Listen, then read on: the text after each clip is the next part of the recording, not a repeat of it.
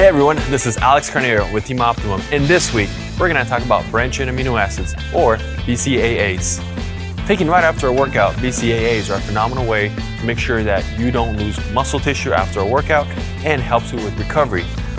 Personally, I like to include my branched chain amino acids throughout my workout. This ensures that I'm going to have optimal muscle recovery and prevent muscle breakdown. If you're one of those people that doesn't drink enough water throughout the day, adding a little bit of flavor with your favorite BCAAs might be the solution to it.